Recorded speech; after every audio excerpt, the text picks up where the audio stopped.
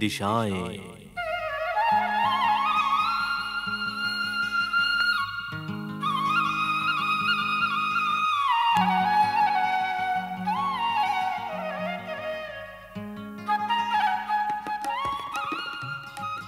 राष्ट्रीय शैक्षिक अनुसंधान एवं प्रशिक्षण परिषद के केंद्रीय शैक्षिक प्रौद्योगिकी संस्थान के रेडियो प्रभाग द्वारा प्रस्तुत है। लिंग भेद के अंतर के कारण पैदा हुई सामाजिक समस्याओं पर आधारित कार्यक्रमों की इस श्रृंखला के अंतर्गत कार्यक्रम उसका हक।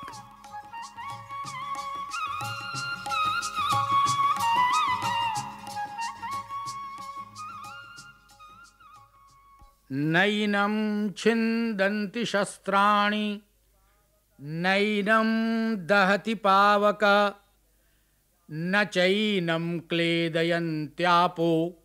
न शोषयति मारुत।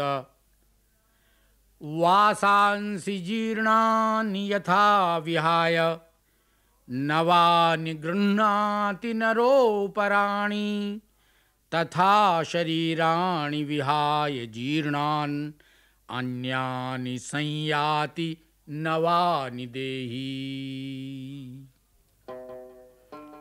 अब मृत आत्मा की शांति के पश्चात मृतक के पुत्र को उसके पारिवारिक दायित्वों के संबंध में बताना होगा।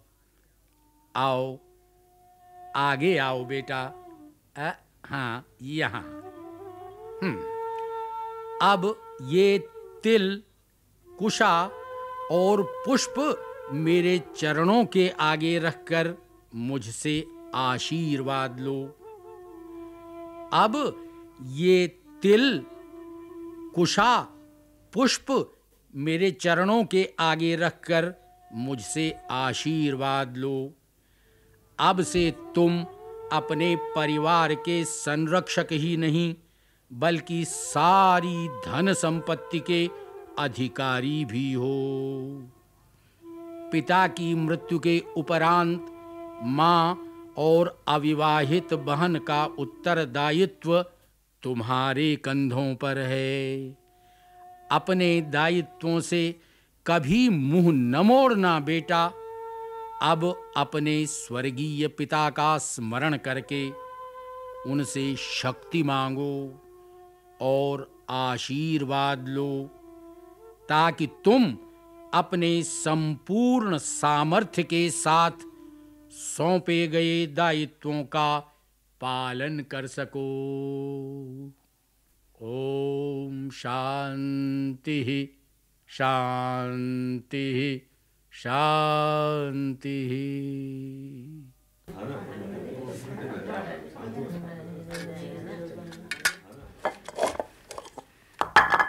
जल्दी करो बहू।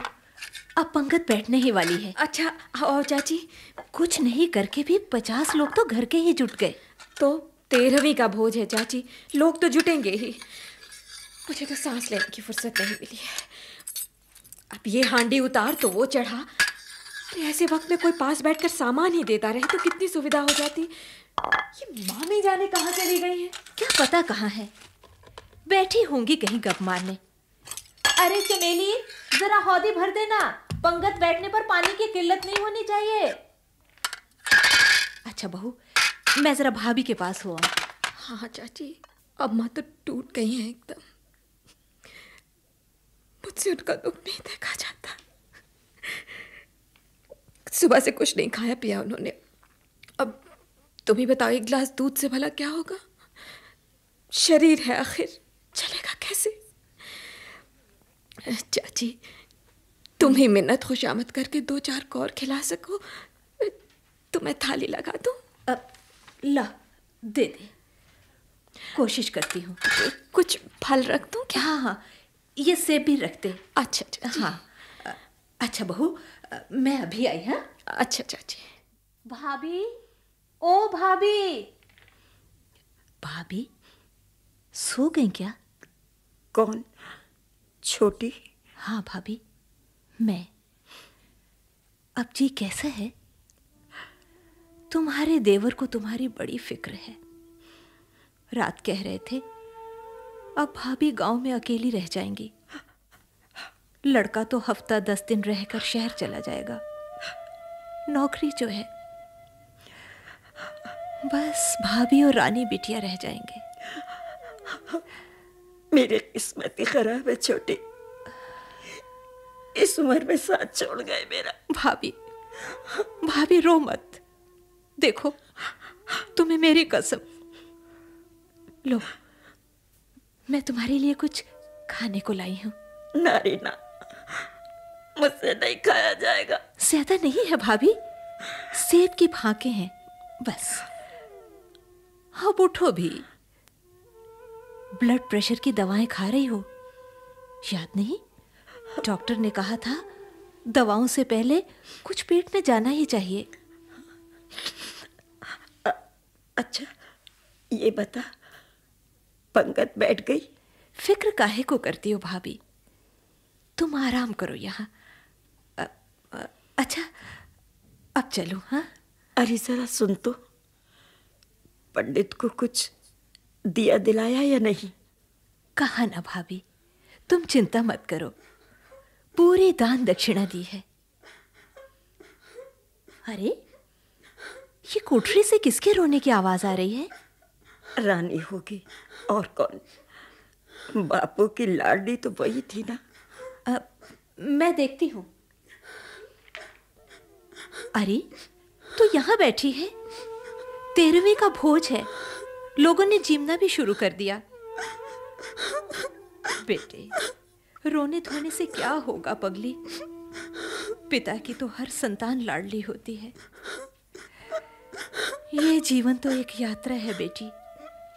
जो आया है, वो जाएगा ही। कोई कतार में पहले है और कोई बाद में।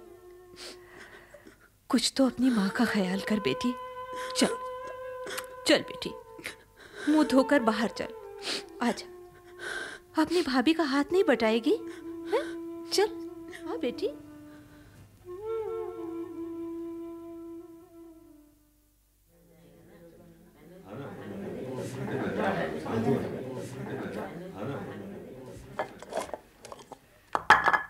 क्या कर रहा है नंदू? चूल्हे से हट के। हट, उस कपड़े को हटा चूल्हे के पास से। सुन, ये थाली जरा बाहर ले जा। और देख, सबको पूरी देता जाना, समझा? अरे चमेली। हाँ बहू जी क्या कहो? जरा जल्दी जल्दी हाथ चलाना देख सारी पंगत बैठी हुई है। बहू जी जरा एक प्यार पूरी का खाना। और लगा दो जल्दी से अरे सुन किसी को नहीं ये मिठाई मिठाई मिठाई ले जा। हाँ, ये ये ये ये भी ले जाओ हाँ ये भी बाहर ले जाओ रख देना। लाओ भैया लाओ अभी ले जाओ। और सुन सकोरे पत्तल जो है वो उधर बाहर फेंक के आना ठीक है बीबी जी रख देना अरे कहाँ रह गई थी? बड़ी देर लगा दी। अरे ऊपर भाभी को देखने गई थी। बहू तब से चार दफ़ा पूछ चुकी है। चाची कहाँ हैं? चाची कहाँ हैं? अरे तो तुम ही उसका हाथ बटा देती। तुम भी तो आखिर मामी हो। क्या करे? अकेली जो है। हाँ वैसे काम तो बड़ा जी लगा कर कर रही है। क्या बात है? बात क्या है? अरे सारा रुपया गांठ में जो आ गया है। हम्म। इकलौती बहू है कोई साझेदार नहीं है। अरे लेकिन सास ननद तो है। ननद का ब्याह भी तो करना है। उसके लिए सास अपने जेवर तोड़वाएगी। लो और सुनो कैसा जमाना आ गया जी? मामी जमाने को किस लिए कोस रही हो? कहाँ मैंने पहचाना नहीं भैया। अरे ये अपने दुर्गा लाल जी का लड़का है लखन। अरे लखन है ये? हाँ। अरे कितना बड़ा हो गया। और क्या ये वकील जो हो गया है। अच्छा। हाँ तो जमाने को क्यों कोस रही थी? अरे बेटा तुम्हारी भाभी का ज़िक्र चल रहा था। अब जब पूरी ज़मीन जायदाद पर उनका अधिकार हो गया है तो ज़िम्मेदारी भी तो निभानी पड़ेगी कि नहीं? पूरी जायदाद पर? वो कैसे? लो और सुनो अब जब हमारे जेठ जी का इकलौता लड़का है नरेश तो पूरी ज़मीन जायदाद का वही तो मालिक होगा। अरे चाची किस जमाने की बात कर रही हो? जानती हो अब पिता की संपत्ति पर सब बच्चों को बराबर का हक है चाहे लड़का हो या लड़की। अरे भैया ये कायदे कानून शहर में चलते होंगे हाँ गाँव में नहीं। लेकिन मामी कायदे कानून सबके लिए एक है। आए हाय तुम भी किस बहस में उलझ गई हो? जिसकी जायदाद वो जाने। चलो बेटा तुम खाने बैठो। ये दलीलें कोर्ट कचहरी में देना हाँ। अरे मैं कहाँ दलील दे रहा हूँ? अब रहने भी दो। अच्छा आइए चलिए।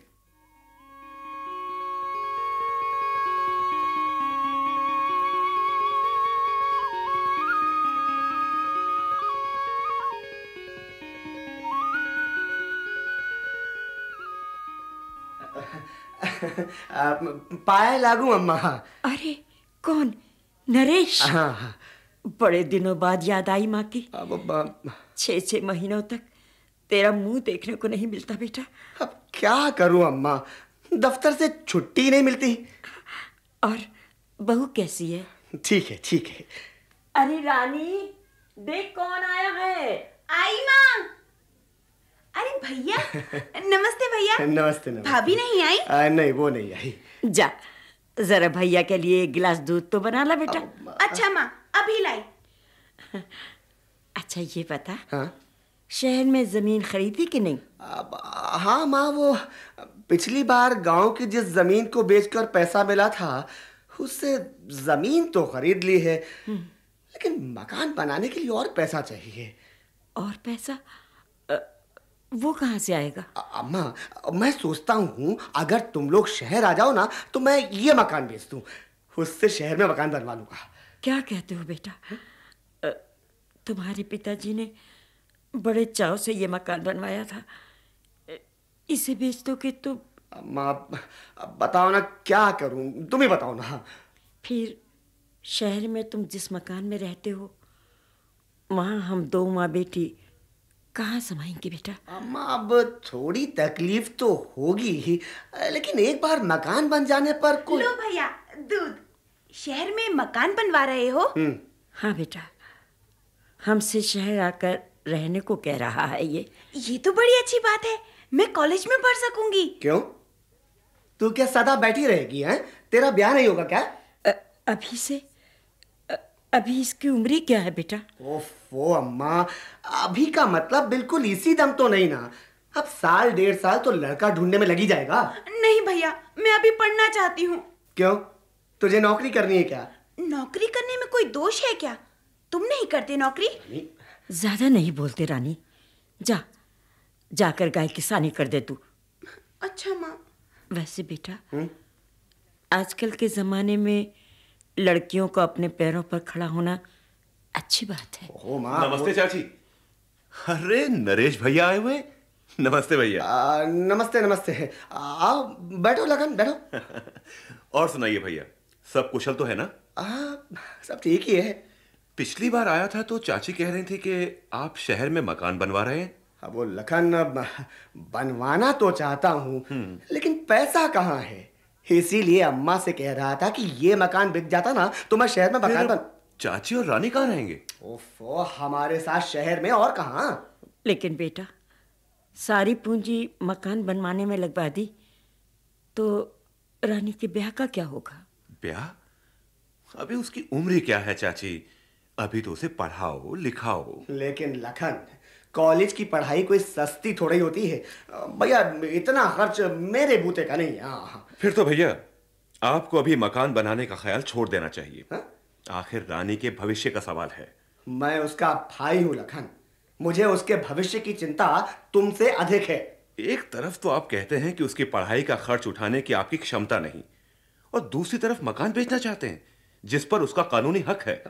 उसी का क्या? अभी तो चाची का भी हक है। आ, का, का, का, कानूनी आ, कैसा कानूनी हक भाई? भैया आप तो पढ़े लिखे हैं। क्या नहीं जानते कि हिंदू सक्सेशन एक्ट 1956 के तहत पैतृक संपत्ति पर बेटे व बेटियों दोनों का हक बराबर है? और जो संपत्ति पिता ने स्वयं अर्जित की है उसे वे वसीयत लिखकर जिसे चाहे दे सकते हैं। किंतु अगर उन्होंने कोई वसीयत नहीं की तो उस पर माँ और बच्चों का बराबर का हक है। अच्छा ऐसा लिखा है कानून में। हाँ चाची। अब अब लखन मैं और अम्मा कोई अलग अलग हैं क्या है? अरे भैया ये मैं कहाँ कह रहा हूँ? लेकिन जिस संपत्ति पर दूसरे का कानूनी अधिकार है आप उसे बेच तो नहीं सकते ना?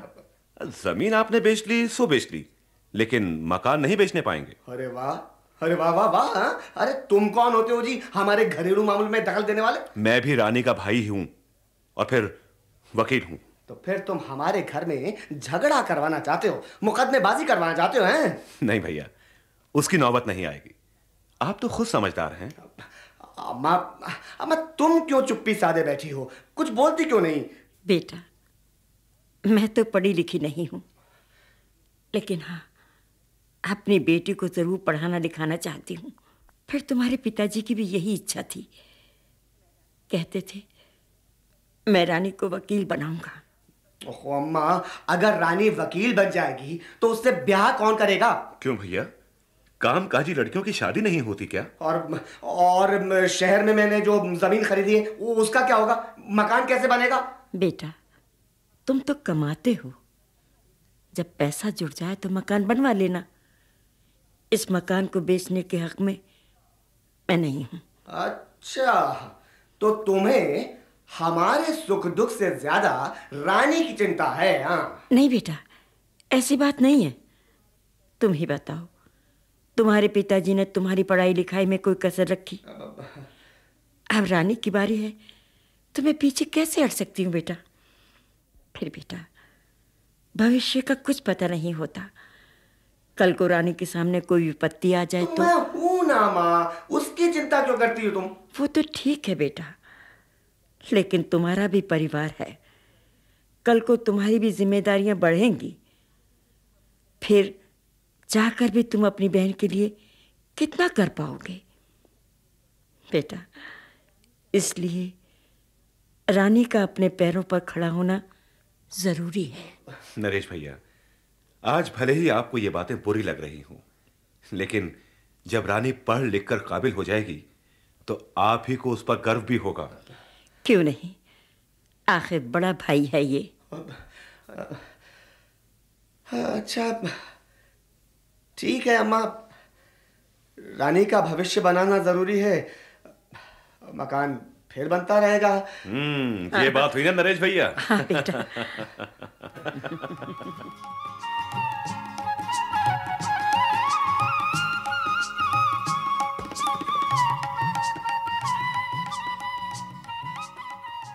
उसका हक।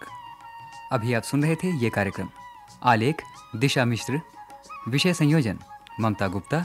कलाकार, सुरेश शास्त्री। सुनीति कोहली। शोभना जगदीश, सरोज भार्गव। ममता गुप्ता, अभय भार्गव। मनोज भटनागर और मालती कौशिक। ध्वन्यांकन, सतीश लाडे। निर्माण सहयोग, वंदना निगम तथा निर्माण एवं प्रस्तुति, अजीत होरो।